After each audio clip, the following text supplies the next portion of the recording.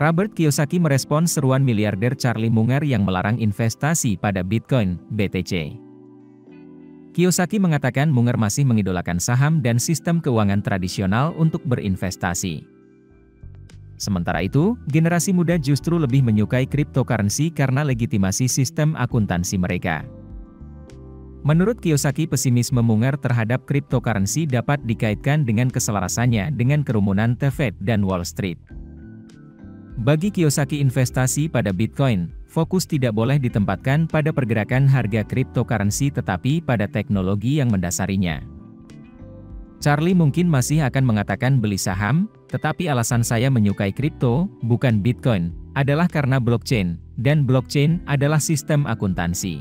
Ini lebih sah daripada Fed atau Treasury atau Wall Street, ujar Kiyosaki. Karena itu, ia mengatakan, Charlie Munger ada di kerumunan Fed Treasury Wall Street, dan generasi muda, milenium ke bawah, ada di kerumunan iPhone. Komentar Kiyosaki ini merespons pernyataan Munger sebelumnya yang mengatakan konyol siapa pun yang berinvestasi dalam kripto. Bagian dari kritik Munger terhadap Bitcoin adalah potensi aset tersebut untuk digunakan dalam kegiatan kriminal. Dalam pandangannya, cryptocurrency sebagian penipuan dan menarik bagi para penculik.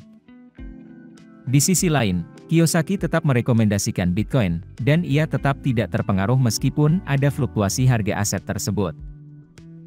Kiyosaki mendukung akumulasi Bitcoin yang berkelanjutan, dan pada titik tertentu, dia memproyeksikan bahwa pemegang BTC akan menjadi lebih kaya.